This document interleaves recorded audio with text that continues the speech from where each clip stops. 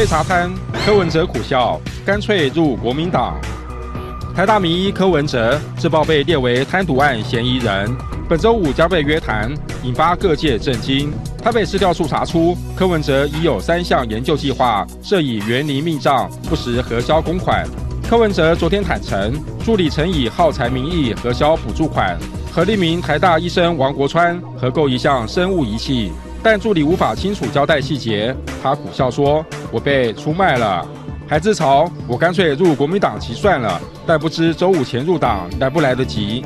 检调去年查出，台大医院神经外科王国川医师以园林密账购买多项设备，王国川主动供出，曾与柯文哲各自挪用专案经费，合资采购一项生物仪器，但未列入校产。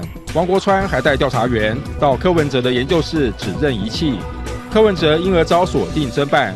对此，他表示这是一笔烂账，历史共业。还说现在都随便了，要办就办，我会比阿扁有志气。动新闻台北报道。